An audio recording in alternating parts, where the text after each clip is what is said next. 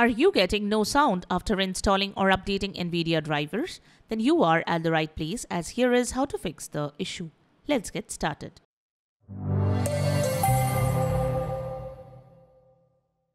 This is the Windows Club. Some users encountered an unusual issue where their systems lost sound after updating or installing the graphics card driver. This issue most commonly occurs on systems with an NVIDIA GPU. However, other GPU users may also encounter this problem. If you encounter that your computer has no sound after installing or updating the NVIDIA drivers, use the fixes provided here. Let's get started. Method 1. Did you install the right GPU driver? Probably you have installed the incorrect GPU driver due to which the issue has occurred.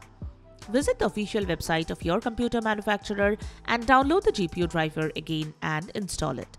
Enter the correct model number of your system.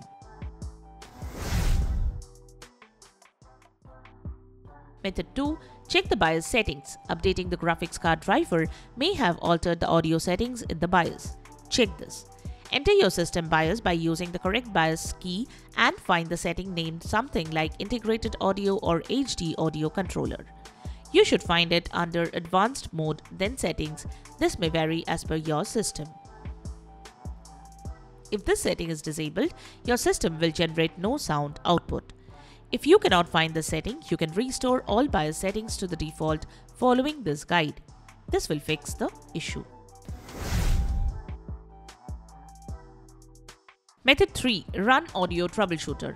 Next, run the Audio Troubleshooter. Open Windows 11 settings, select System, then Troubleshoot, then Other Troubleshooters. Run Audio Troubleshooter. You can also launch the Audio Troubleshooter through the Get Help app. For more details, follow this guide. So that's it. Subscribe to the Windows Club for all your tech solutions related to Windows. Thanks for watching.